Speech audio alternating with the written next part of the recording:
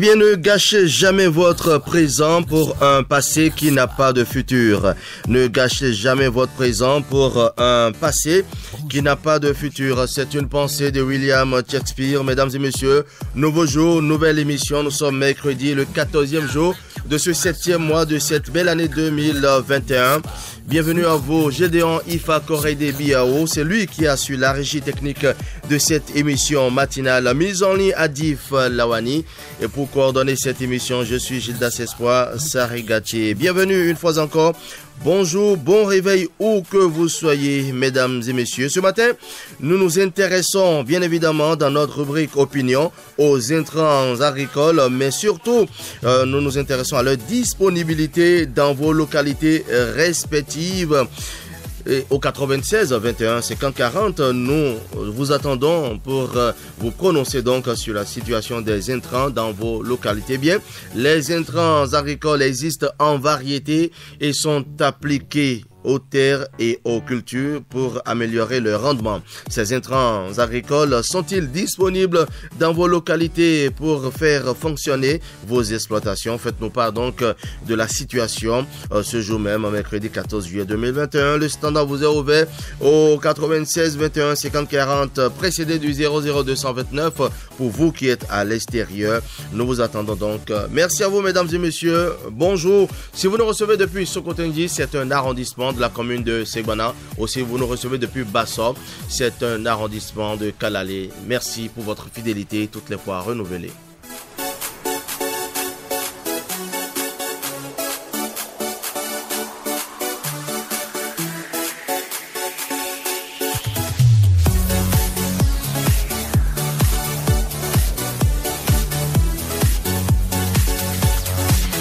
Et nous démarrons donc euh, cette émission par la rubrique opinion, je le disais.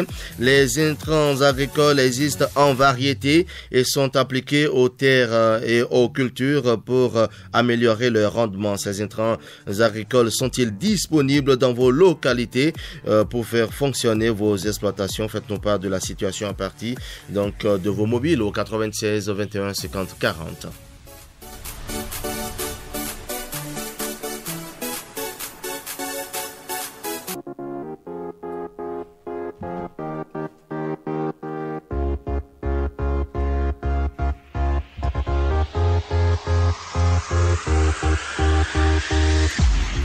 Le journal parlé interviendra tout à l'heure à 7h. Ce sera avec euh, Colombe Amadi. Nous aurons également la revue des titres des journaux parus ce jour. Euh, ce sera avec Henri Ndasekou. N'oubliez pas, mesdames et messieurs, la page d'espoir avec euh, Silas Patrick Ayadi. On aura bien évidemment le grand format qui interviendra où nous serons avec Samira Chabibani. Avec elle, nous verrons donc que les premières causes de mortalité chez les enfants sont les accidents domestiques. Nous aurons en direct de Le chef service Atlantique FM Issa Amadou. Avec lui, nous parlerons donc de la disponibilité des intrants agricoles dans les localités.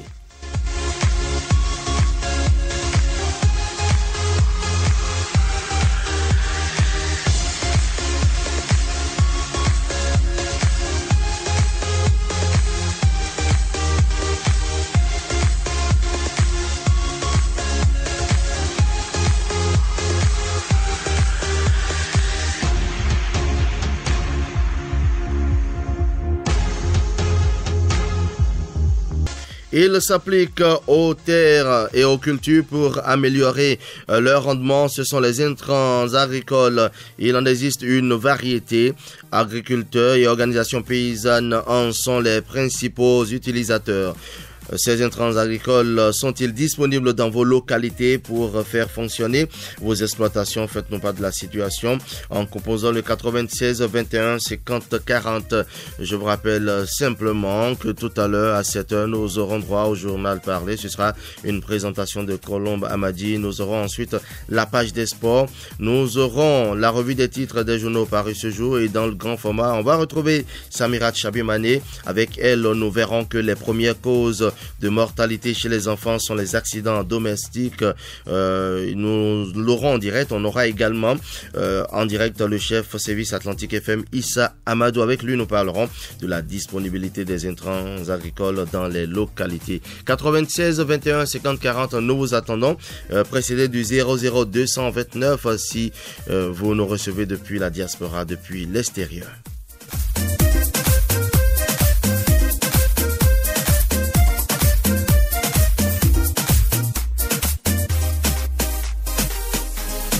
Un tout premier appelant en ligne. Bonjour. Bonjour. Malheureusement, il est reparti. Nous nous intéressons ce matin, mesdames et messieurs, aux intrants agricoles, mais surtout à leur disponibilité dans vos localités. Ceci pour faire fonctionner vos exploitations. Les intrants agricoles existent en variété, ça vous le savez, et sont appliqués aux terres et aux cultures pour améliorer le rendement. Ces intrants agricoles sont-ils disponibles dans vos localités pour faire fonctionner vos exploitations? Faites-nous donc de la situation. C'est maintenant et tout de suite via le 96 21 50 40.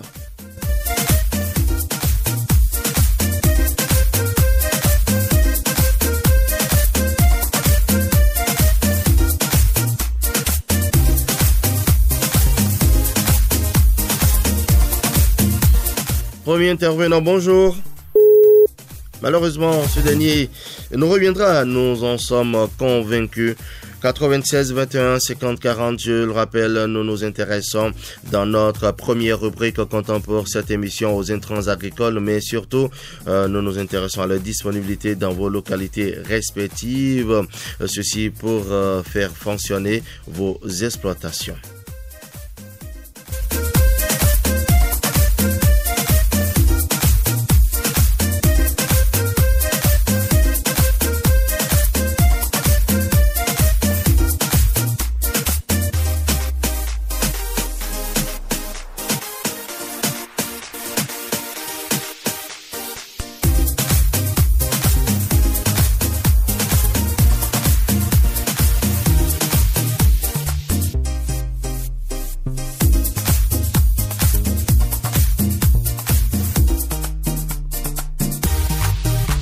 Et nous allons faire donc un tour sur notre plateforme WhatsApp des fidèles auditeurs Nasuba. Vraie analyse dans les méthodes de la diversification dans l'agriculture aujourd'hui. Euh, je présume que, et ça c'est notre ami Seydou Sinanso, je présume que sans ces intrants agricoles, pas de rendement tant espéré, même s'il faut mettre quelques coups de houe, soi-disant consacre. Je cite aujourd'hui un champ d'igname sans intrants, faut pas espérer un bon rendement. Ne parlons plus des céréales comme le maïs, le mil, le sorgho, etc. C'est le pire en application des intrants dans les plantations, même jusqu'au jardin où nous faisons du crin-crin, du gombo, etc. C'est rien que l'application de ces intrants. Que faire face à cela? Il va falloir qu'on fasse des sensibilisations en ayant comme thème la consommation bio, toute production naturelle sans engrais ni herbicides est la vraie. Voilà mon opinion de ce jour. Il nous dit bon mercredi et à jeudi. Merci donc à notre ami Seibo Sinanso.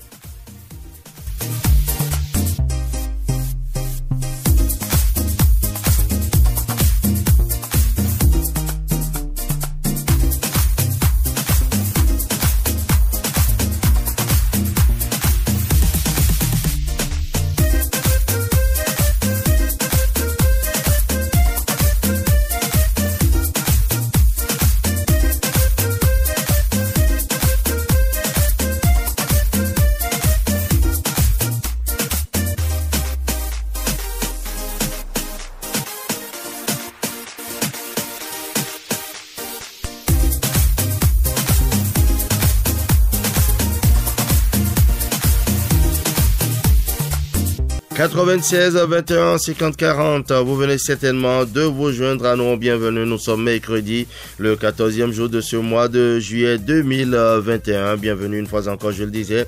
Nous nous intéressons ce matin dans notre première rubrique opinion aux intrants agricoles, mais surtout à la disponibilité dans vos localités respectives. Ceci pour faire fonctionner donc vos exploitations.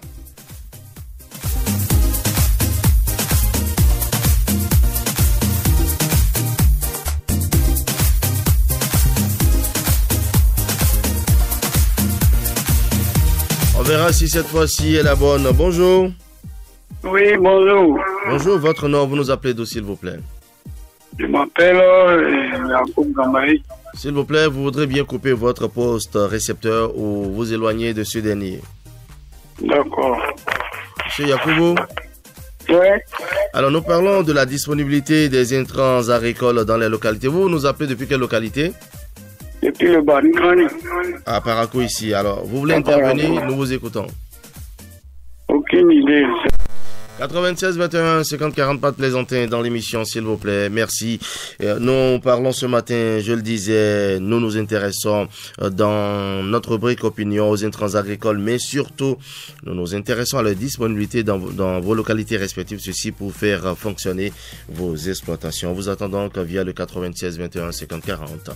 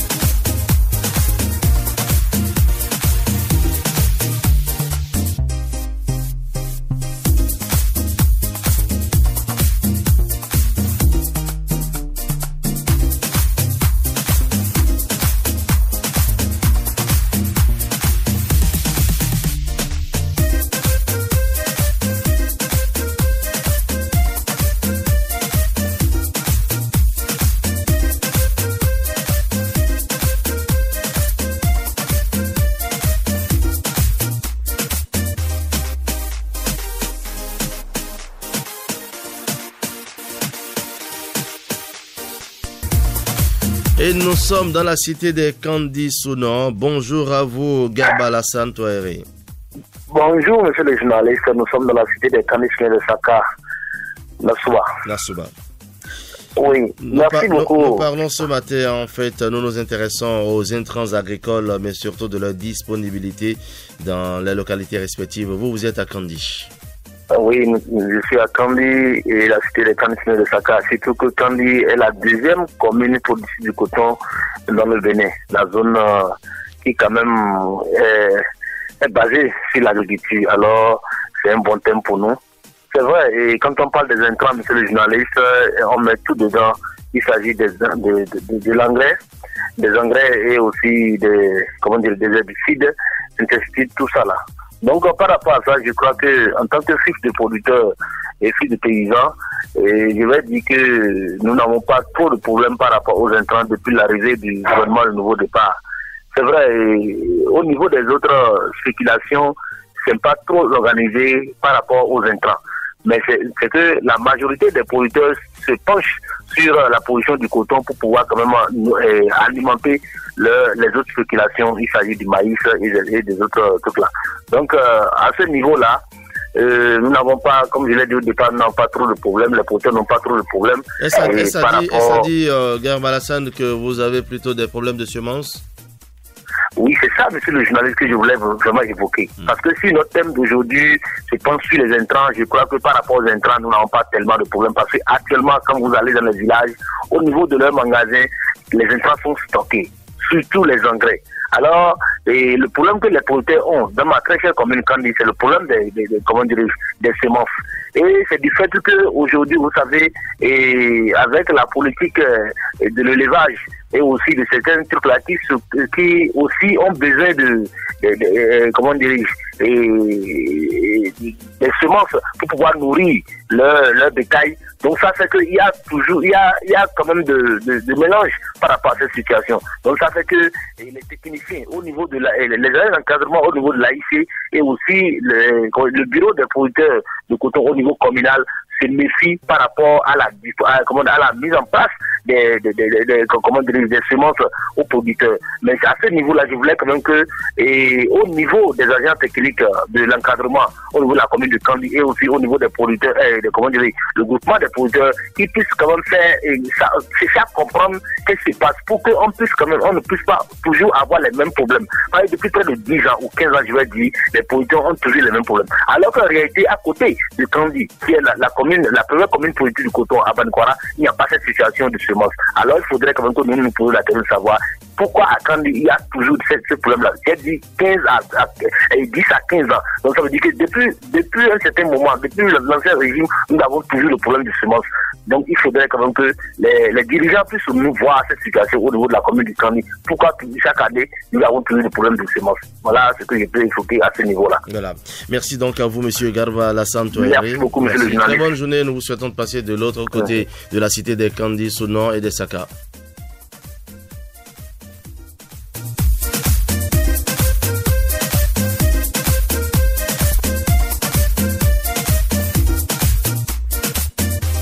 96 21 50 40 en ligne. Un autre appelant. Bonjour.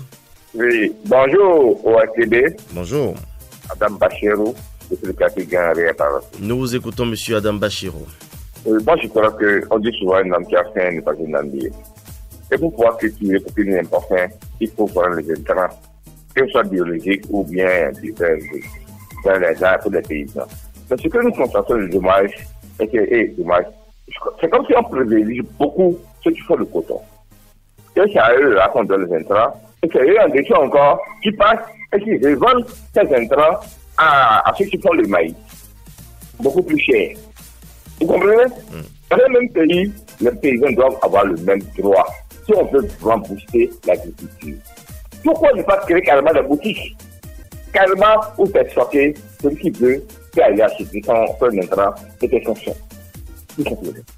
Pour les autres euh, secteurs, qui ne sont pas soi-disant organisés comme le maïs, le mil, euh, peut-être que ça se passe, c'est déficit toujours. Parce que les gens, certains prennent le, le, le, coton, les, les de coton, parce qu'ils ont besoin de faire du maïs. Mais s'ils ne font pas le coton, ils n'auront pas, euh, pas d'engrais.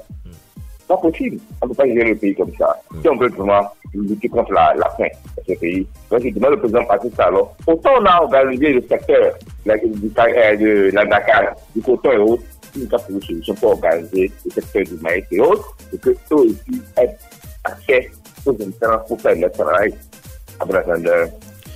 Merci, bonne journée à vous également. 96 21 50 40 pour participer à cette émission. Bonne journée à vous.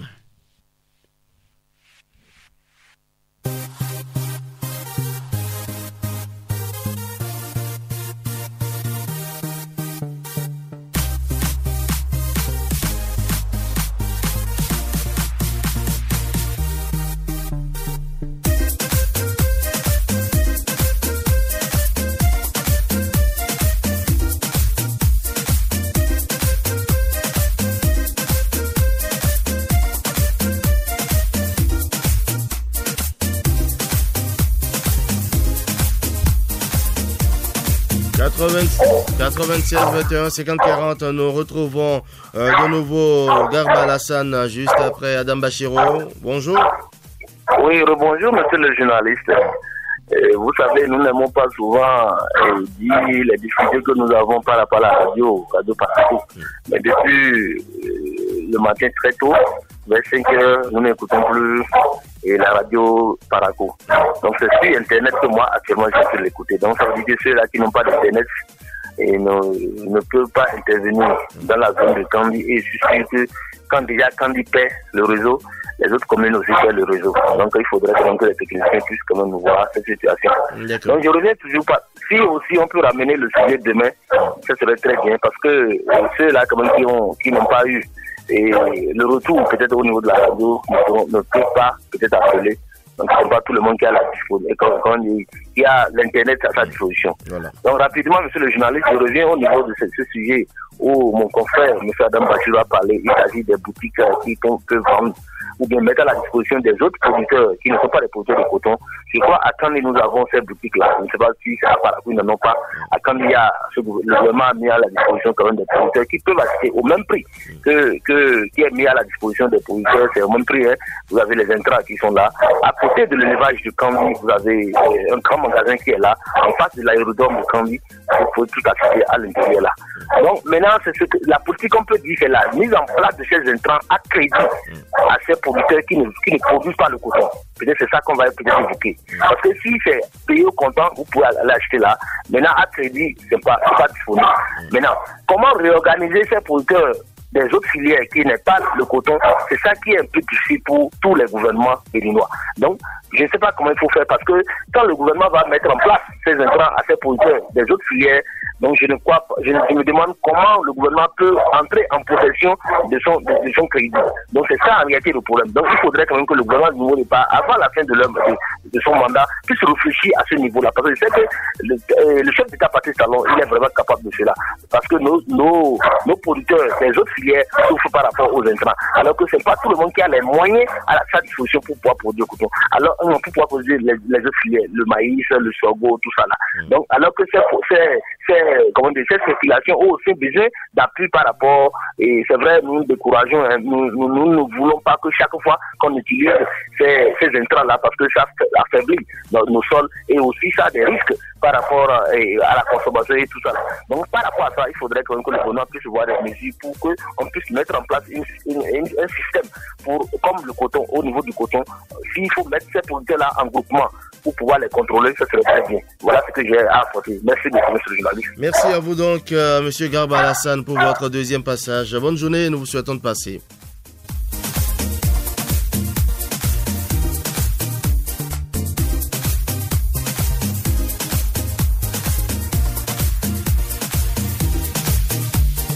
96 21 50 40. Nous nous intéressons, je le disais, aux intrants agricoles, mais surtout à la disponibilité dans vos localités, ceci pour faire fonctionner vos exploitations. Bonjour en ligne. Bonjour. Bonjour, votre nom, vous nous appelez d'où s'il vous plaît? De Parapou.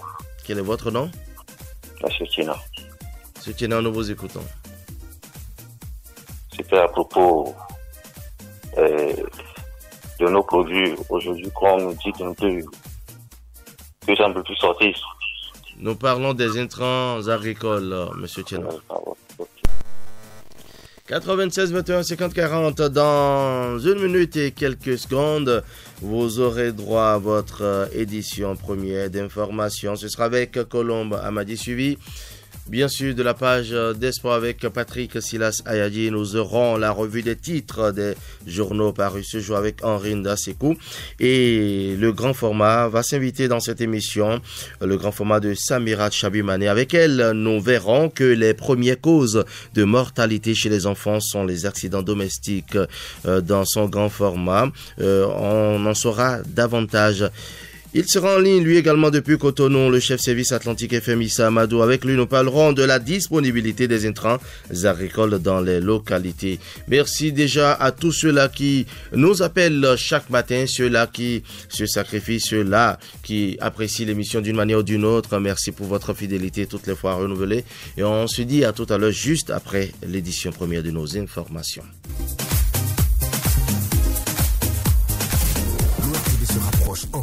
De vous. La nouvelle application mobile de l'ORTB avec plus de dynamique, plus de design, plus de couleurs, plus de facilité. Vos chaînes de radio et votre télévision nationale en direct, c'est sur Play Store. ORTB Mobile, toujours plus proche de vous. Vous écoutez Radio Paraco. Dans un instant, le journal.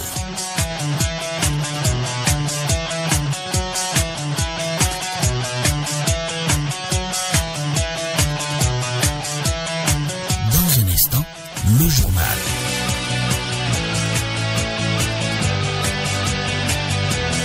Le journal.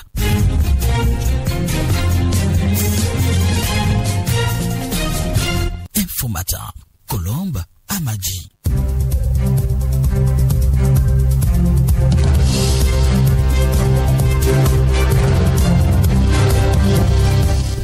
Bonjour Madame, Monsieur, bienvenue au bulletin d'information. Nous sommes aujourd'hui, mercredi 14 juillet 2021. Bonne fête à la France.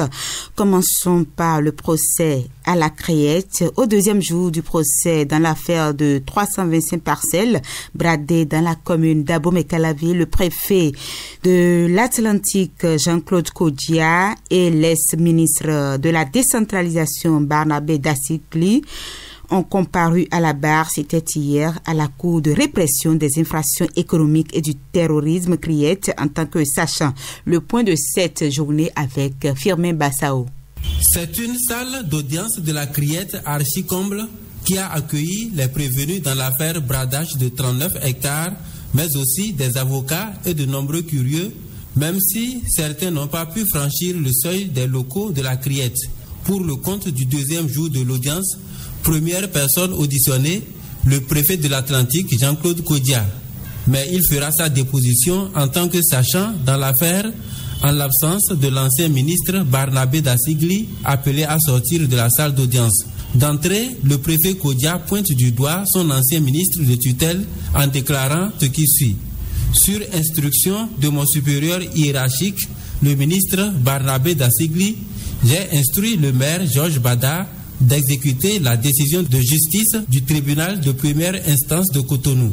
Le sachant présente une correspondance en date du 9 novembre 2016 dans laquelle l'ex-ministre Barnabé Dassigli lui donne des injonctions dans l'affaire 39 hectares. Ensuite, il lira une correspondance qu'il a adressée au maire Bada pour exécuter la décision de justice. À sa suite, l'ex-ministre Dassigli est reçu pour sa déposition alors que ce dernier tentait d'expliquer qu'il a reçu de sa prédécesseur trois correspondances, dont celle des 39 hectares. Il est pris par un malaise et sera évacué de la salle. L'un des avocats impliqués dans le dossier confie que Barnabé Dassigli ne pourra plus continuer sa déposition. À la reprise, tous ceux qui ont acquis des parcelles sur le domaine de Dame Pointo Zosu ont été répertoriés par le président des sciences. Il s'agit entre autres des cadres de la mairie, des conseillers communaux et tous ceux impliqués. Le secrétaire général de la mairie, Sébastien Kissenklounon, est passé à la barre, de même que l'ancien maire d'Abomey Calavi, Georges Bada. Audience suspendue peu avant 18 h Le président dit que les débats seront poursuivis jusqu'à 19h30 pour être vidés entièrement. Lors de la prochaine audience, le ministère public va faire sa déposition et les avocats feront leur plaidoirie. Porto Nouveau, Firme Bassao, Radio Bénin. Et on se rend à présent à Silandé où la phase pilote de la nouvelle politique de santé communautaire est lancée hier. Autorités politico-administratives et partenaires sont en contact avec les représentants des communautés pour leur bien-être, une priorité d'ailleurs du gouvernement dans une nouvelle approche. Les précisions de Abdoulaye Moumouni Yakoubou. Cette nouvelle politique de santé communautaire exige une synergie d'action entre partenaires, acteurs et bénéficiaires. Gaëlle Logozo, représentante de la représentante résidente de l'UNICEF. L'UNICEF s'engage en tant que partenaire à soutenir le gouvernement du Bénin dans la mise en œuvre opérationnelle de cette politique à travers une assistance technique et financière. L'identification des relais communautaires dans six communes prioritaires, dont quatre dans le Borgou, représente une étape très importante dont nous invitons les populations de chaque localité à s'impliquer pleinement dans la réussite de cette activité. L'approche One Health adoptée englobe à la fois la santé environnementale, animale et humaine avec plus d'efficacité. Djibril Mama Sissé, préfet du Borgou. La nouvelle politique de santé communautaire permettra aux populations de disposer d'un arsenal à même de réagir promptement face aux questions prioritaires de soins de santé primaire, de prévention de maladies courantes, d'accès rapide et équitable aux soins promotionnels dans cette approche globale de la santé, ce qui contribuera à terme à l'éradication des grandes pandémies à l'horizon 2030 dans notre pays. Le gouvernement opte également pour de nouveaux types de relais communautaires. Topano Kujo, chef cellule Borgou du Conseil national de lutte contre le sida, la tuberculose, le paludisme, les hépatites et les épidémies. Ce sont des relais communautaires qui seront désignés suivant la nouvelle directive. Cette nouvelle politique, le relais communautaire est en train d'être reconnu comme un corps de métier à part au Bénin et aura donc une motivation mensuelle de 50 000 francs CFA. Et en plus de cela, on a élargi la gamme d'activités de paquet minimum du relais communautaire s'aligne aujourd'hui sur l'approche One Health. Le maire Sani Biokuri appelle enfin les populations de Sinandé à une pleine participation pour le bien-être de tous. Cette phase pilote prend en compte les communes de Sinandé, Niki, Bembereke et Kalale dans le Borgou, Malanville et Banikwara dans la Libori. À Parakou, les populations des villes environnantes en sauront davantage sur les factures, du, les factures normalisées. C'est à travers des journées portes ouvertes du 12 au 16 juillet 2021. L'opération est organisée par la Direction générale des impôts et se tient à la place Tabera de Parakou. La cérémonie de lancement a eu lieu hier matin en présence des responsables de la DGI et des autorités locales. Les précisions de Roland Chanka. Lever les doutes liés à la machine de facturation électronique et à l'inscription sur la plateforme IMECEF. C'est le sens des rencontres initiées entre l'administration des impôts et les chefs d'entreprise de la cité des Koboro. Depuis sa mise en œuvre en 2018, la réforme sur les factures normalisées peine à avoir l'adhésion des contribuables. Justin Aguikossi, directeur général adjoint des impôts. Les présentes journées portes ouvertes s'inscrivent dans le cadre des campagnes de sensibilisation que mène l'administration fiscale au fait d'éclairer davantage la lanterne des contribuables et du grand public sur cette réforme Cette initiative vise essentiellement à assister et conseiller les contribuables tant sur l'acquisition, l'utilisation des MECF que les formalités de création de comptes IMECF et la délivrance des factures normalisées en ligne. Le Bénin avance à grands pas à travers des réformes salutaires pour assainir et améliorer le fonctionnement des secteurs de l'économie. Inoussa Chabizime, maire de Parakou. Cette réforme permettra à l'État d'améliorer assurément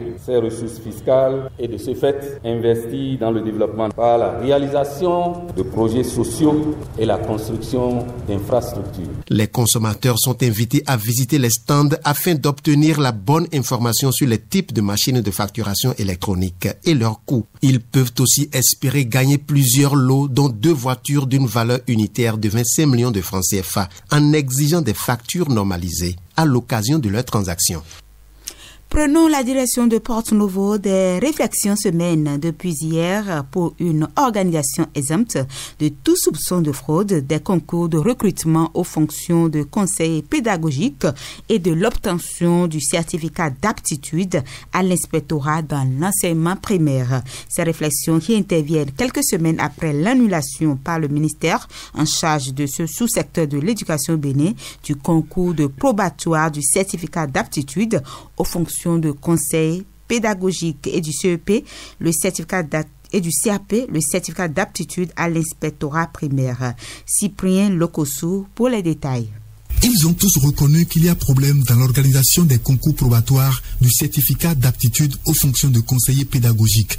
Le dernier concours, celui d'octobre 2020, a été annulé suite à des soupçons de fraude, des dysfonctionnements notés à plusieurs niveaux de l'organisation. Les mêmes personnes qui ont proposé les épreuves se retrouvent dans les commissions de tri participent à l'étude de dossiers, surveillent ou sont même correcteurs. Des promoteurs de centres de formation se retrouvent au cœur des instances de décision et d'appréciation. L'atelier de réflexion a permis de recenser les critères qui doivent permettre d'éviter les collisions. Chaque acteur doit distinctement jouer son rôle. Les auteurs des épreuves proposées ne doivent plus en choisir pour les concours. Des enseignants ne se retrouveront plus en situation de surveillance des candidats qu'ils ont encadrés. Les acteurs choisis pour l'anonymat ne doivent plus être connus à l'avance de tout le monde. Le code secret des épreuves sera à la discrétion du ministre des enseignements maternels et primaires et du directeur des examens et concours. Toutes les étapes de l'organisation du concours probatoire, du certificat d'aptitude aux fonctions de conseiller pédagogique CAF-CP et du certificat d'aptitude à l'inspectorat primaire CAIP ont été étudiés par des sachants du monde de l'éducation béninoise, des conseillers pédagogiques de haut rang, des cadres du ministère des partenaires sociaux et des journalistes. Le ministre Saliman Karimou a été présent à toutes les étapes d'analyse et d'appréciation de l'organisation de ce concours. Au thème des travaux qui ont duré une journée, le ministre a dit toute sa satisfaction avant de remercier les participants. Cyprien Lokosu, de retour de Porto Novo pour Radio Bénin.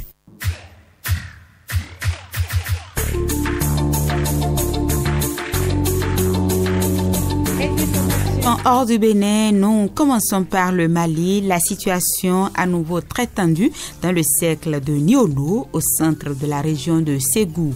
C'est dans ce cercle qu'avait été conclu en mars dernier un accord entre les djihadistes de la Katiba Bassina, membres du groupe de soutien à l'islam et aux musulmans liés à Akmir et les chasseurs traditionnels d'Ozo de la zone qui tentaient de leur faire face.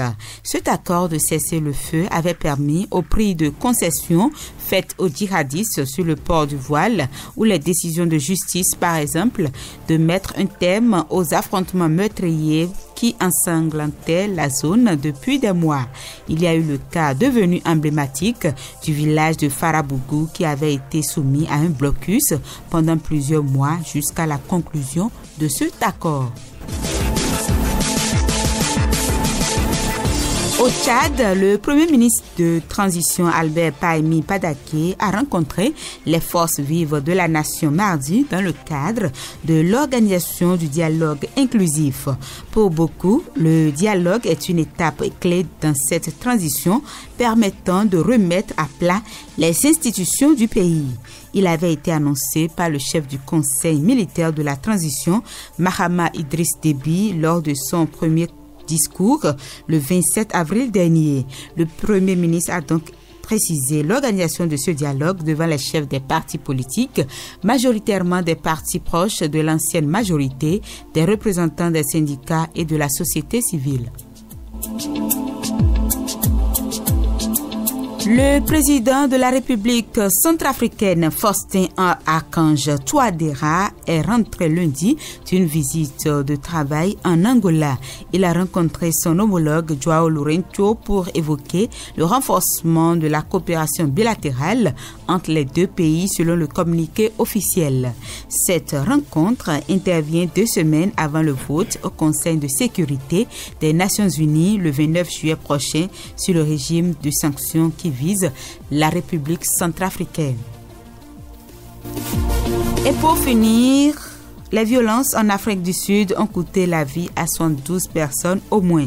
Ces violences ont débuté vendredi dans la région de KwaZulu-Natal, la région de Jacob Zuma, au lendemain de l'incarcération de ce dernier. Elles ont aussi touché Johannesburg. Les agences des forces de l'ordre redoublent d'efforts pour stopper la violence et accroître leur déploiement sur le terrain, a indiqué le ministre de la Police Becky Kelly lors d'une conférence de presse conjointe avec les différents acteurs et la sécurité de la sécurité sud-africaine. Ce sera tout pour ces nouvelles, Madame, Monsieur. Nasuba se poursuit. L'ORTB se rapproche encore plus de vous.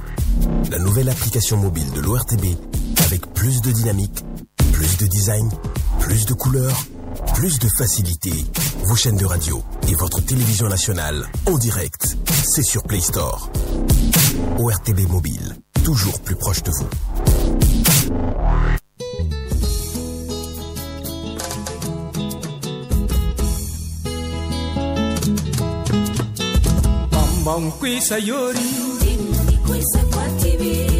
Kwisa kwa TV Timoni kwisa yori. Bom kwisa yori. Timoni kwisa kwa TV Ifiti dige mienga Kare yuda ye. Ada buswanga da ye. Kaswanga da po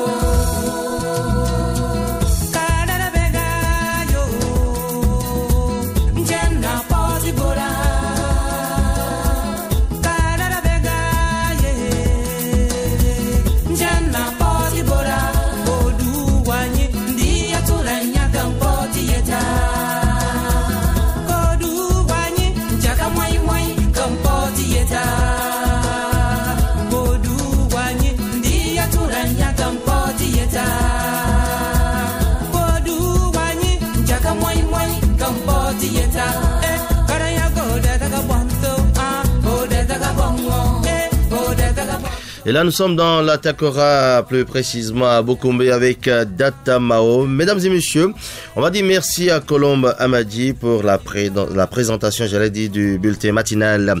Et tout à l'heure, nous aurons dans ce studio Patrick Silas Ayadi, ce sera pour la page des sports, suivi de la revue des titres des journaux parus ce jour. Et n'oubliez pas qu'elle sera également euh, dans cette émission. Elle, c'est bien sûr Samira Chabi Mané. Elle nous, avec elle, nous verrons, plutôt, nous verrons que les premières causes de mortalité chez les enfants sont les accidents domestiques dans son grand format. On en saura davantage. Il sera en ligne également depuis Cotonou, le chef service Atlantique FM Issa Amadou. Avec lui, nous parlerons de la disponibilité des intrants agricoles dans les localités.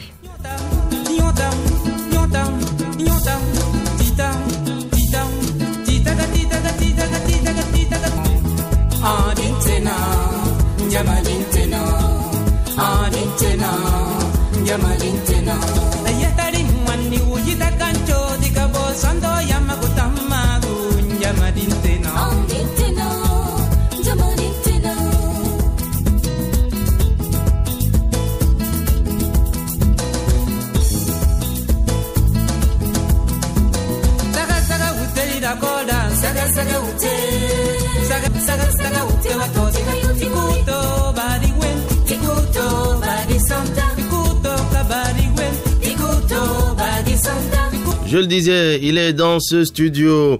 Bonjour à vous donc, Patrick Silas Ayadi.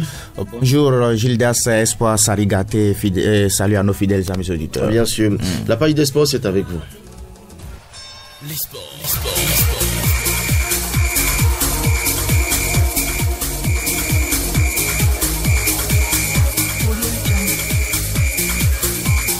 En direction Tokyo 2020, Jeux Olympiques, on en parle ce matin. Nous irons donc à la découverte de Privel Rinkati. Il est le premier athlète béninois à se qualifier pour ses prochains JO en aviron. Oui, l'aviron, une discipline euh, qui n'est pas euh, trop connue au Bénin, mais qui a déjà désigné un représentant pour les prochains euh, Jeux Olympiques, mm. voilà, de, de, Tokyo, les Jeux qui devraient se tenir en 2020, mais pour cause de crise sanitaire Voilà, c'est finalement en 2021, mais la marque de ces jeux, c'est bien 2020. C'est pourquoi l'année a été maintenue. C'est comme l'Euro de football qui devrait se tenir en 2020, mais qui s'est joué finalement en 2021.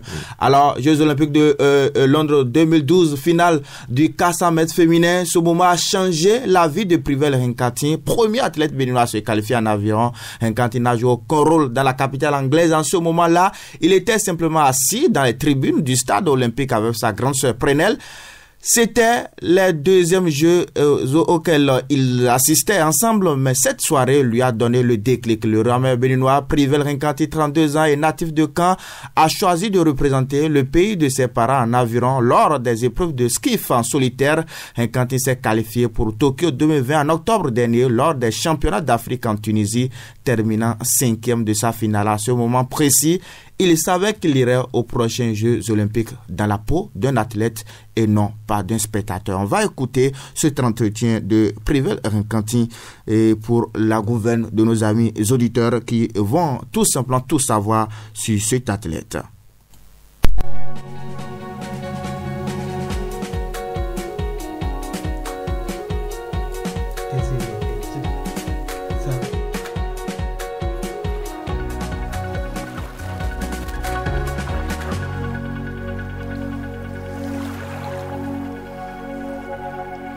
Bonjour, je m'appelle Prévé Nkati, j'ai 31 ans, je suis chef de projet en informatique euh, pour la ville de Caen, en Normandie. Et à côté de ça, je viens de me qualifier pour les Jeux Olympiques en aviron de Tokyo.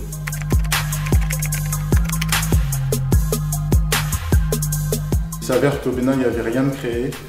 Et pour moi, le projet était un peu plus beau euh, que simplement un projet sportif. C'était de, créer quelque chose, de, faire connaître le sport, de, de, faire connaître aussi que les gens de la diaspora béninoise, bah, sont, même s'ils ne vivent pas au Bénin, bah, ils, vivent aussi pour, leur pays euh, à distance. Et donc pour moi, euh, ça s'est fait naturellement.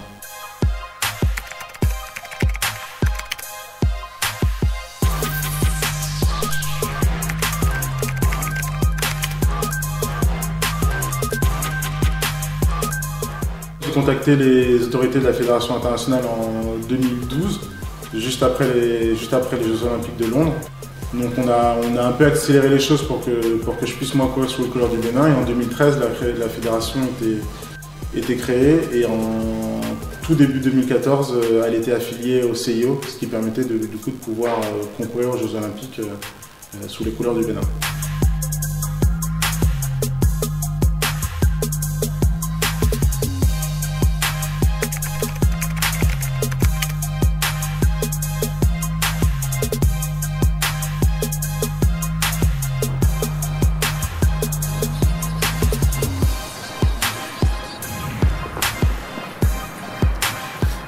L'hôtel de ville, là où je travaille euh, tous les jours. Euh, je travaille 40 euh, heures par, semaine, donc je jongle un peu mes journées en fonction de, mes différentes contraintes d'entraînement. Donc je m'entraîne avant l'entraînement, avant, le travail, pardon, et puis après, le travail. Donc ça fait de bonnes journées.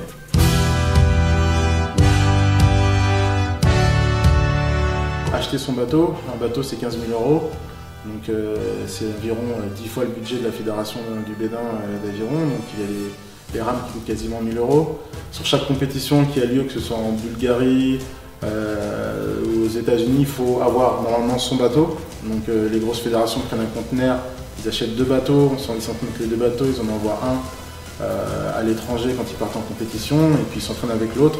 Moi, si mon bateau va partir à Tokyo, si pour l'instant j'ai pas d'autre bateau, du coup j'aurai pas de bateau pendant trois mois. Donc euh, je vais obligé de dans, un autre bateau. C'est comme si on demandait à quelqu'un de courir avec euh, d'autres chaussures et puis euh, d'arriver une semaine avant et de remettre d'autres chaussures. Donc, ça, ça, marche, mais c'est pas du tout optimum dans la performance.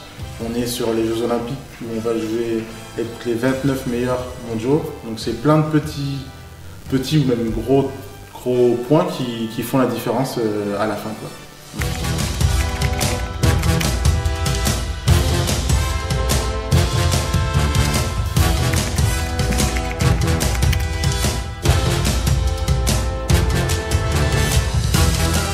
Gens trouvent ça bien, c'est plutôt bien accueilli. Alors forcément, il y a plein de questions. Euh, D'où vient ce sport Est-ce qu'on a tout ce qu'il faut au Bénin? Et à partir du moment où on leur explique euh, les qualités physiques qu'il faut, des grands gaillards, euh, endurants, les gens se disent mais c'est parfait pour le Bénin, il faut beaucoup d'endroits où il y a de l'eau, au calme. on a énormément de lagunes au Bénin, de lacs, donc les gens disent mais c'est parfait. Et donc du coup, sont très enthousiastes à l'idée de, d'accueillir ce nouveau sport et d'avoir un représentant qui fait partie des meilleurs Africains. Donc, euh, très bien. J'espère vraiment euh, susciter des vocations au Bénin. C'était un des deux points, un des deux points du projet. Comme j'expliquais, euh, le premier était de, créer la fédération et de faire connaître ce sport. Et le deuxième, c'était d'être l'ambassadeur de, de ce sport en qualifiant aux Jeux Olympiques, en faisant connaître ce sport et que derrière, il y ait des jeunes qui rament et qui se disent bah, si lui l'a fait, euh, pourquoi pas nous Voilà, vous savez tout désormais sur Privel, il est le rameur béninois parce que l'athlète qui pratique l'aviron s'appelle un rameur. Un bateau, un skiff euh, coûte 15 000 euros. Ça fait beaucoup d'argent. La Fédération béninoise d'aviron, euh, en tout cas une subvention de, de 4 ou 5 millions de francs CFA. Vous voyez que ça ne pèse pas, ça ne peut même pas suffire. Après, lui, c'est la troisième étape de sa quête olympique est en cours. Il s'entraîne dur pour représenter son pays aux Jeux euh, olympiques de Tokyo 2020 afin de faire de son mieux l'année prochaine. Même si la qualification était le but principal, il espère tout de même faire quelque chose au canal de la forêt de la mer où les épreuves d'aviron auront lieu. Il avale tout simplement une douzaine de kilomètres à bord de son skiff de 8 mètres. On va dire tout simplement bonne chance à Privel. Privel qui sera d'ailleurs voilà, le porte-drapeau euh, béninois euh, au, moment de, la cérémonie d'ouverture de ces JO. Bien évidemment. Et d'autres brèves rapidement. C'était hein. Odile Arouanou qui devrait le faire, mais Odile va rejoindre Tokyo au lendemain de, de la cérémonie d'ouverture. Voilà, d'autres brèves comme vous l'avez annoncé, Patrick Conrad a remporté ce mardi la 16e étape du Tour de France longue de 169 km à Saint-Gaudens. présent dans l'échappée du jour, le champion d'Autriche de 29 ans s'est isolé à 36 km de l'arrivée et n'a jamais été repris. Il a devancé Sonny Cobrel et Michael Mathios. Pierre-Luc Perichon a terminé quatrième, jamais inquiété. Tadej euh, reste solide leader du Tour de France avant les deux dernières étapes de euh, montagne. Un mot euh, sur du basketball. Les États-Unis déjà défaits samedi par le Nigeria se sont à nouveau inclinés lundi face à l'Australie 91-83 en match de préparation pour les Jeux de Tokyo où les basketteurs américains ont le statut de favori. C'est le quatrième revers en cinq matchs de la Team USA depuis la Coupe du Monde 2019 où elle avait terminé en une embarrassante septième place. Si cette sélection américaine n'est pas la meilleure possible, LeBron James, Stephen Curry ou Kawhi Leonard n'en faisaient pas partie. Elle compte toutefois plusieurs stars comme Damian Lillard, Jason Tatum ou Kevin Durant, meilleur scoreur lundi avec 17 petits points. Trois joueurs encore actifs dans les finales de la NBA viendront renforcer l'équipe américaine d'ici Tokyo. Merci donc à vous, Patrick Silas Ayadji. Et grand, grand merci pour votre flexibilité parce qu'on a fait la part belle après le Rincanté, le premier athlète béninois à se qualifier pour les JO Bien évidemment. Merci. Et bonne suite à vous, Patrick Silas Ayadji. Tout de suite et sans transition, voici donc la revue des titres des journaux parus ce jour. La revue des titres, donc, est seulement deux quotidiens ce matin. Le quotidien de service public. La Nation qui met en grand titre Victor Adossou, président de la Cour suprême. La justice n'est pas morte au Bénin. C'est une affirmation. En fait de mandat à la Sénat, Emmanuel Tiando et ses pairs sont Reconnaissant Criette affaire bradage de 39 hectares à Boumé-Calavi, Barabé Dassigli et Jean-Claude Kodia ont déposé. L'audience se poursuit le 27 juin prochain. Et puis, africain de l'échiquier international, Laurent Djimadja, un maire suisse originaire du Bénin. Fraternité, installation du conseil électoral ce jour, de nombreux défis sur le chantier de la transparence avec en photo les images des cinq nouveaux membres du conseil électoral. Affaire 39 hectares à Boumé-Calavi.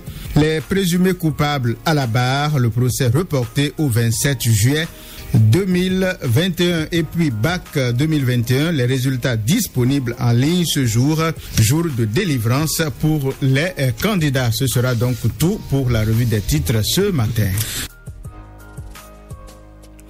Merci donc à vous, Andrinda Seko. On vous retrouve demain, plaise à Dieu. Le grand format, c'est maintenant et c'est tout de suite. On parle donc des accidents domestiques, comment protéger les enfants. Eh bien, mesdames et messieurs, les premières causes de mortalité chez les jeunes enfants sont les accidents domestiques. L'intérieur de la maison représente le lieu principal d'accident. Avec de la vigilance, quelques réflexes simples et du matériel adapté, il est plus facile d'éviter ces accidents. Quelques conseils essentiels du docteur Romuald Boton, il est pédiatre des armées dans ce grand format santé signé Samirat Chabi Mani. Les jouets peuvent provoquer couramment des accidents. Si votre enfant, par exemple, arrache le bras ou l'œil d'une peluche, il risque de l'avaler et de s'étouffer. Romuald Boton, pédiatre des armées. Il faut acheter en fait des jouets dont on connaît le nombre. Si vous voyez que quelque chose manque et qui n'est pas étouffé, vous restez calme. Ce n'est pas la peine de venir réveiller les gens aux urgences. Laissez-le tranquille et vous attendez dans le caca ça finira pas sortir dans le caca. Ou bien, vous lui donnez un petit laxatif et puis, quand il va chier, vous récupérez ça rapidement. Vous avez remarqué qu'un objet a disparu. Il est là, vous sentez qu'il a du mal à respirer, qu'il est étouffé, alors que vous savez que votre enfant n'est pas asthmatique. Il fait des petites quintes de tout, comme s'il cherchait l'oxygène. Il faut savoir que l'objet est allé au niveau de la trachée. Les moins de 5 ans là, comme ils sont tout petits, vous les soulevez, vous les déposez à plat ventre. Le ventre contre la table ou bien le bord du lit ou bien un canapé et vous donnez une forte frappe sur le dos entre les deux omoplates. Et l'objet va en fait ressortir par la bouche rapidement. C'est la méthode de Hemlich. Elle est différente quand l'enfant a plus de 5 ans. On fait ce qu'on appelle la manœuvre d'abrasso par l'arrière. C'est-à-dire, on les embrasse avec la main, mais pas derrière. Il faut croiser les mains qui embrassent en avant du thorax. Vous restez derrière l'enfant et vous faites une forte pression de cette main-là sur le bas du thorax tout en le penchant vers l'arrière. Donc il est penché en arrière et vous, vous êtes derrière lui. Entre 0 et 18 mois, le principal risque dans la salle de bain reste la noyade. Docteur Romuald Boton, pédiatre des armées. Il ne faut pas laisser un enfant de moins de 6 ans dans une baignoire ou bien dans une piscine sans surveillance. Pardonnez. Sans oublier les brûlures. Il faut faire attention à tout ce qui est liquide chaud, le thé, le café, la soupe. Il faut les laisser loin de la table. Il faut éviter qu'il y ait des allumettes ou des briquets.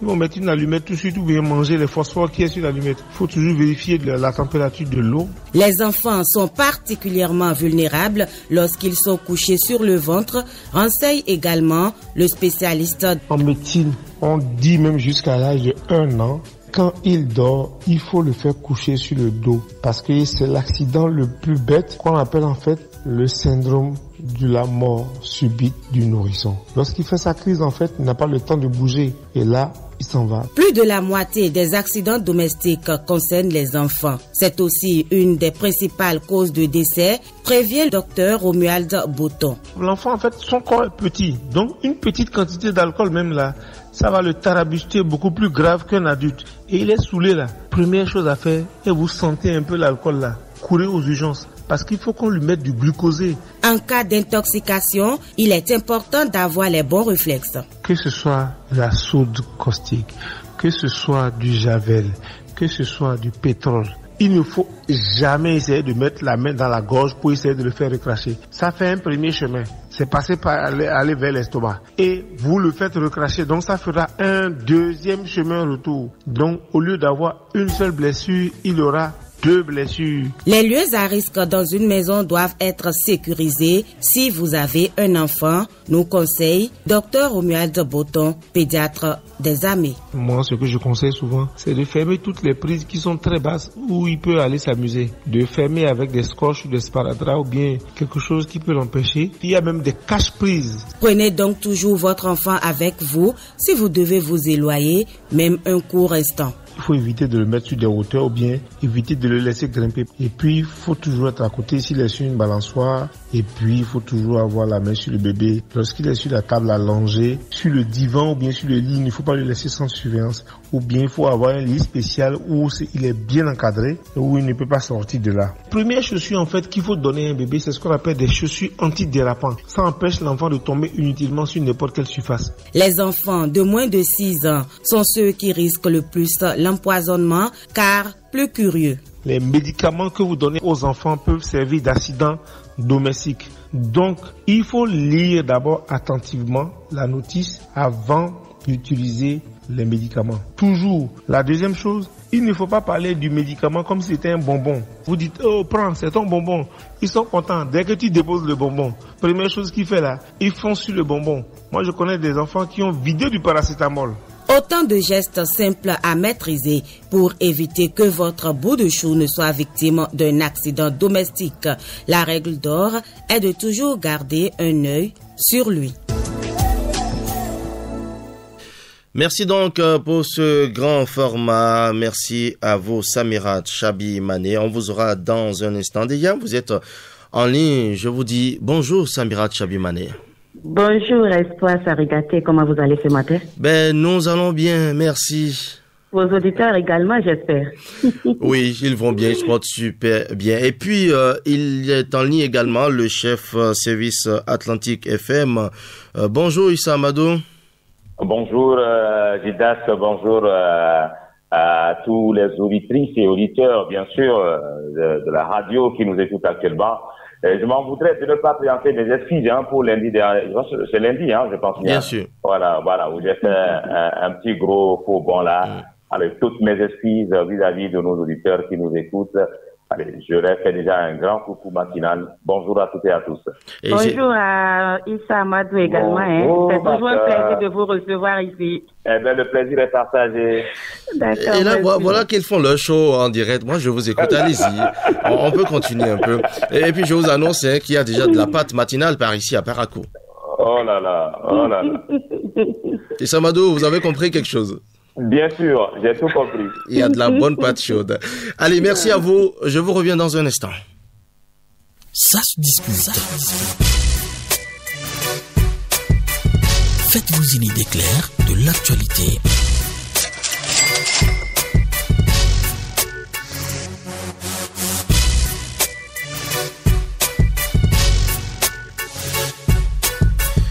En attendant que notre pâte soit servie, nous retrouvons nos deux. Ah oui, Samira Chabumane, ça va se déguster cette pâte matinale.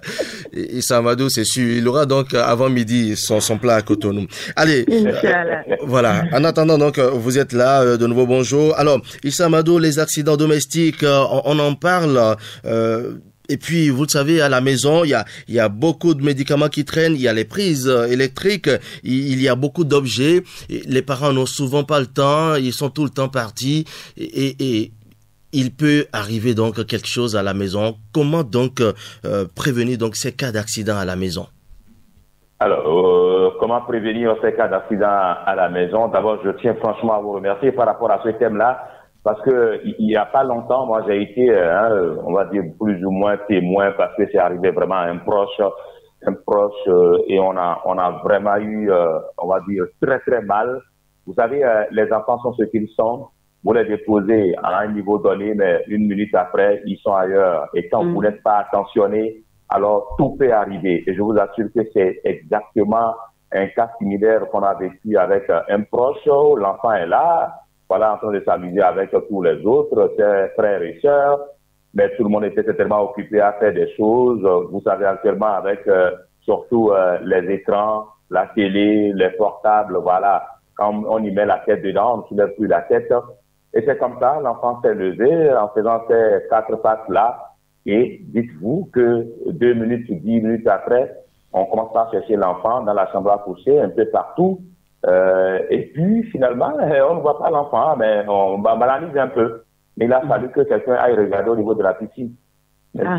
L'enfant s'est retrouvé dedans. Je m'excuse un peu euh, oh parce que là, il touche des sensibilités très matinalement. Et je vous assure que la suite de la scène n'est pas bonne à raconter. Mmh, donc, je, je, prends juste ce cas-là pour essayer d'illustrer justement le rôle que doivent jouer les parents dans la surveillance quotidienne et à tout, à tout instant de nos enfants. Hmm. On ne calcule jamais, on ne peut jamais imaginer quand est-ce qu'un enfant peut rapidement euh, quitter, euh, on va dire, l'œil ou la surveillance d'un parent ou d'un frère pour aller, ils sont innocents, ils savent pas de quoi il s'agit, donc pour hmm. aller parfois, on va dire, dans des situations très dramatiques. Hmm. Donc c'est vraiment important pour les protéger. La vigilance, je commencerai par parler d'abord de la vigilance pour moi c'est le maître mot, la vigilance d'abord. Ensuite, comme vous avez commencé par le dire également, essayer de ranger eh bien, tout objet hein, qui peut constituer un danger pour l'enfant.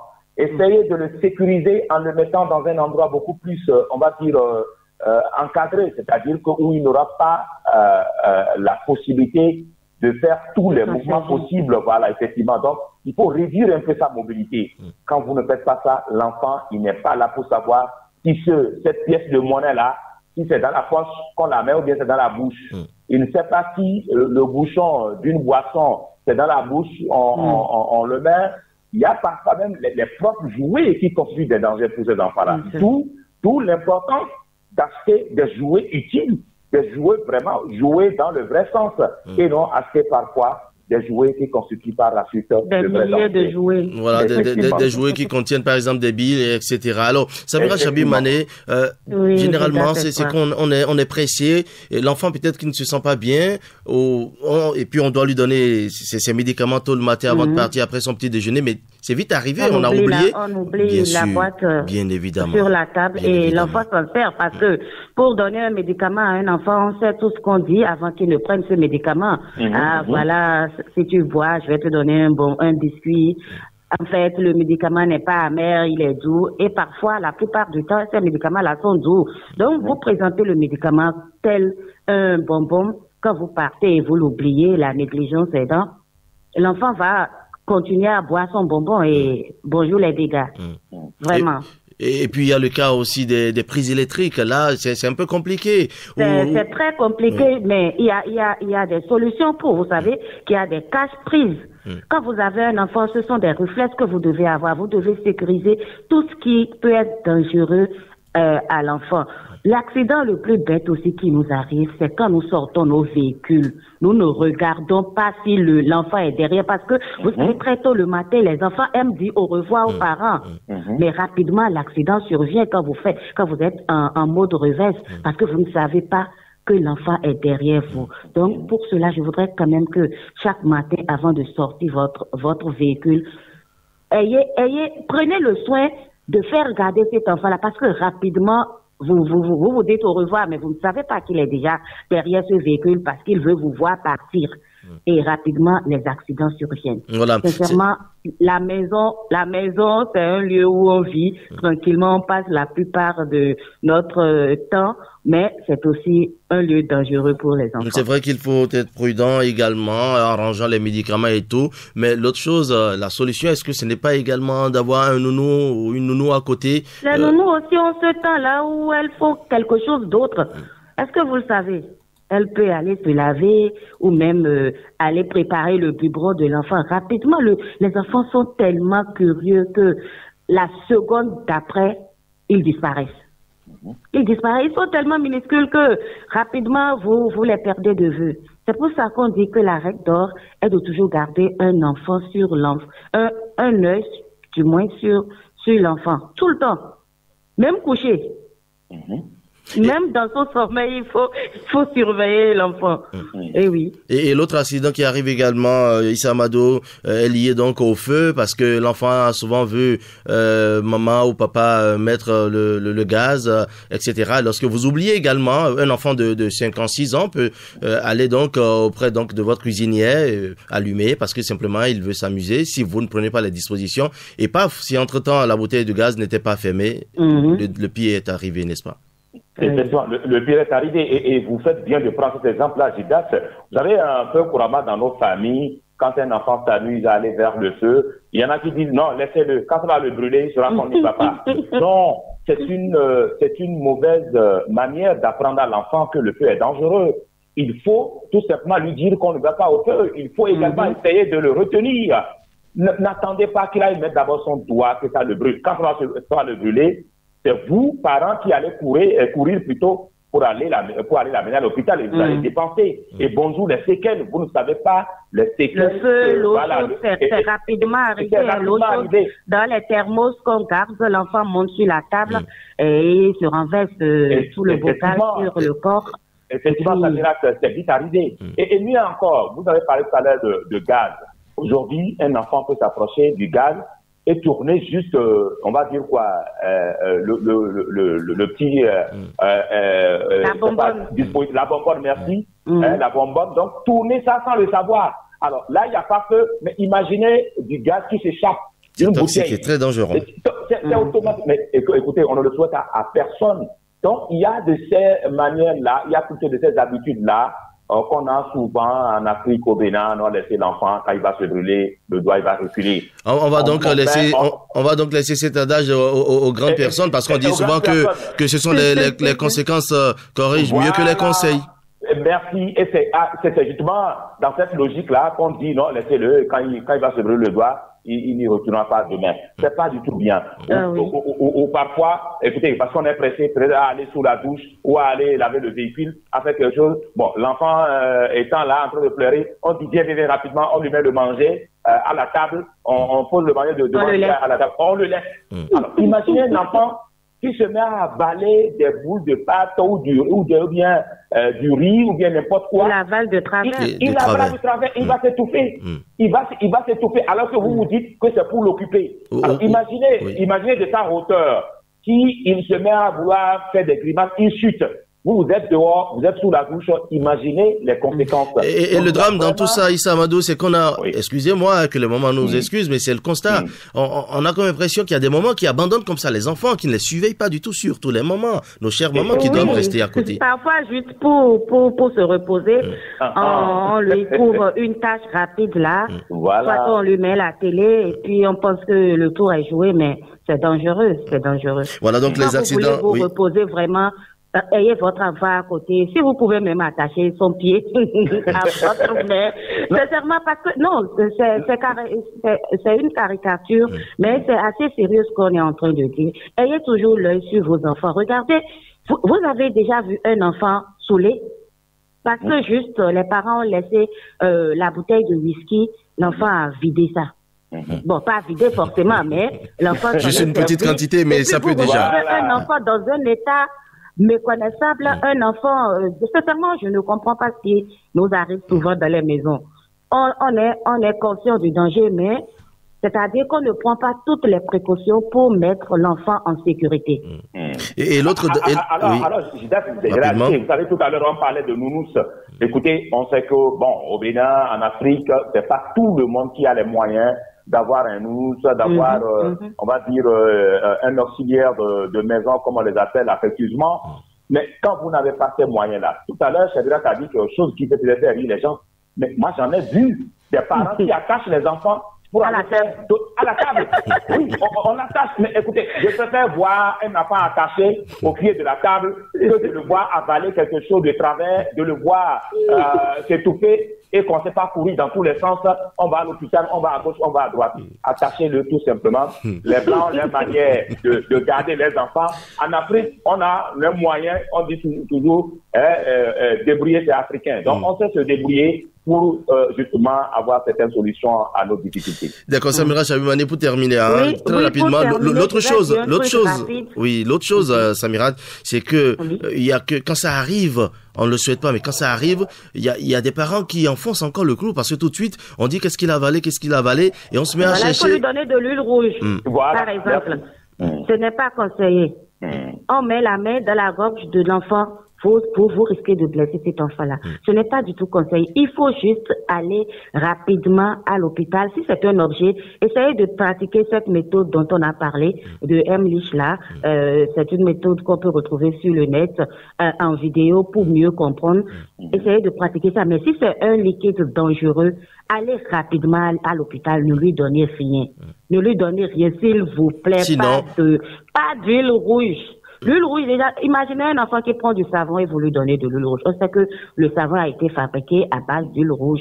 Mm. Vous voyez un peu et vous, vous, vous en ajoutez encore. Qu'est-ce que vous faites alors? Mm. Ça ne ressortira pas. Mm. Oui. Donc, euh, c'est ça. Votre mot de la fin, Samira, sur ce sujet, euh, c'est des conseils donc à l'endroit des parents qu'ils fassent très attention. toujours l'œil sur l'enfant.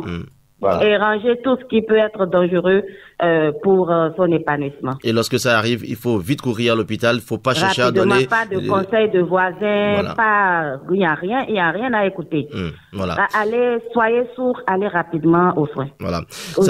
Samira Chabi Mané, nous savons que vous avez euh, d'autres préoccupations en ce moment. Nous allons vous laisser continuer avec Issa Amadou. Promettez-nous donc de nous revenir très rapidement. Je vous attends après la, après l'émission. Et eh oui, ce sera pour cette histoire dont nous avions parlé tout à l'heure. Merci beaucoup, Samira Chabimane.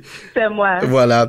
Alors, avec vous, Issa Amadou, nous parlons, et ce matin, nous nous sommes intéressés aux intrants agricoles, mais surtout de leur disponibilité euh, dans nos localités pour faire fonctionner, euh, disons, les, les, exploitations. Alors, beaucoup d'auditeurs nous ont dit ce matin qu'ils ne se posent pas trop de problèmes de euh, disponibilité au niveau des intrants. ils se posent un problème de semences plutôt hmm, Je pense que euh, déjà, il faut remercier ces structures-là, bien qui chaque fois euh, mettent quand même à disposition de nos organisations paysannes, de nos agriculteurs, euh, on va dire, ce produit tellement indispensable à, la promotion même de l'agriculture de manière générale et au coton et tous les autres dérivés justement de, de, de, culture. Parce que longtemps quand même, le Bénin a toujours tenu le pari on n'a plus jamais entendu parler de pénurie, de problèmes, d'intrants par-ci, par-là. Et ce qui fait que justement, quand vous regardez un peu quand même cette culture qu'est le coton, eh bien, elle s'est toujours,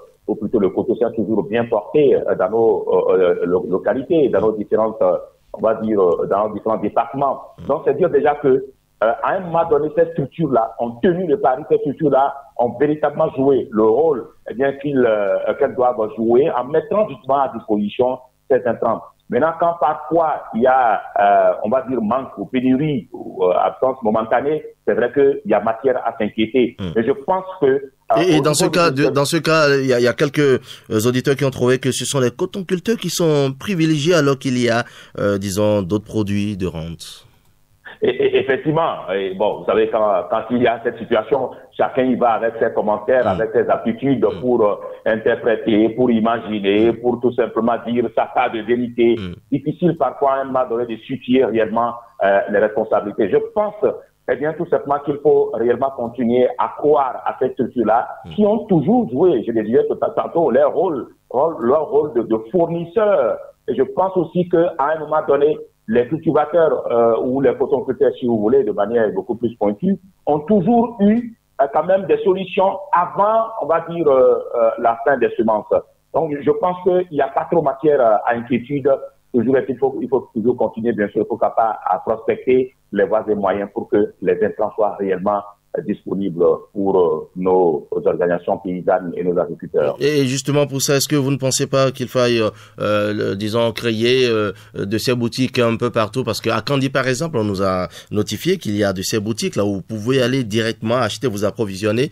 L'autre problème opposé aussi, c'est qu'il doit aider les, les, les agriculteurs à, à, avoir donc ce, ce produit ou ces produits donc à crédit et juste après rembourser. Mais effectivement, euh, écoutez, euh, moi, moi je, je, je, je pense que cette pratique-là toujours court. On sait que parfois pour venir euh, s'approvisionner en intrants, les agriculteurs n'ont pas toujours la disponibilité financière.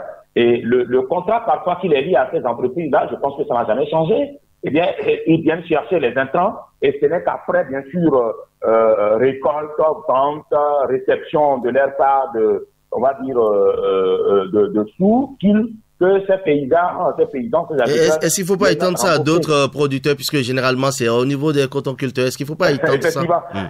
Effectivement, il faut pourquoi pas faire bénéficier également cette largesse-là à d'autres euh, agriculteurs, parce que euh, à, part, à, part, le coton, il y a d'autres produits effectivement qui euh, ont besoin de ces intrants-là et dont les, les producteurs n'ont pas toujours les moyens à portée de main pour aller rapidement s'acheter les intrants et aller tout simplement continuer à, à mener euh, leur culture. Et en parlant tout à l'heure également des boutiques, les boutiques, c'est tout simplement la solution, on va dire, de proximité. Ça a toujours marché et ça a été toujours fait. Et je pense que si, euh, comme vous le dites, euh, on va dire, il faut penser à d'autres agriculteurs, il faut, pourquoi pas également essayer de, de, de, de créer ce rapprochement-là en créant les boutiques dans euh, les différents euh, dans les différentes contrées, dans euh, les différents lieux d'intervention de ces agriculteurs. Voilà.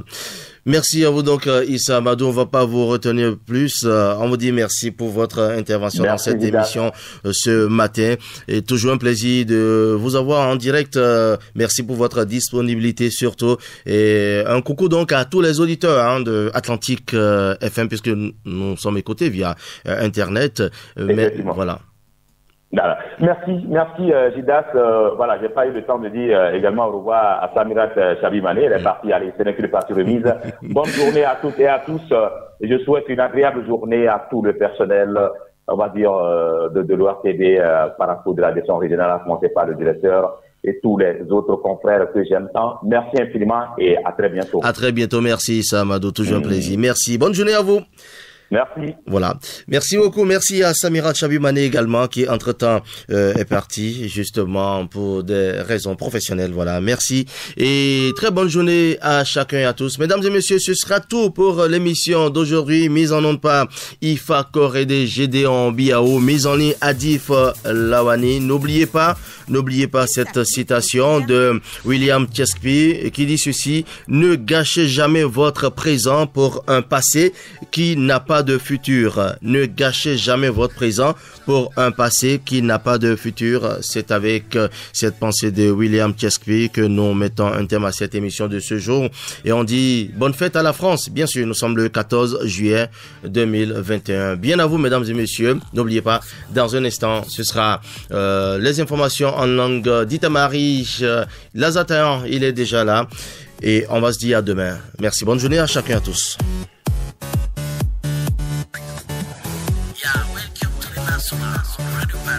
Welcome to Nasuba, le tremplin de l'actualité sur Radio Baraco.